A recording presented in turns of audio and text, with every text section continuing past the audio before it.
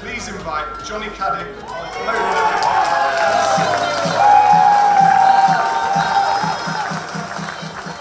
Tonight we've won Deal of the Year and that's because fundamentally what Moda is about is creating next generation spaces to live, work and play.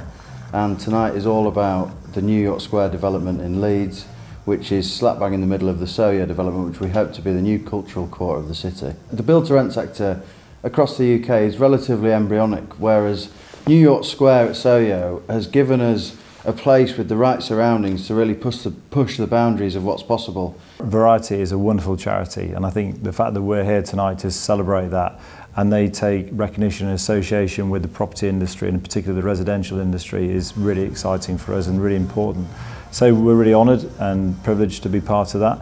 I think for, from our perspective, winning Deal of the Year is something that it's, it's the beginning of the cycle of build to rent. So where we are now is the beginning of our journey and we're really excited to deliver what we have is a really exciting proposition for Leeds delivering 520 apartments for rent in Leeds at the highest quality that is Moda Living.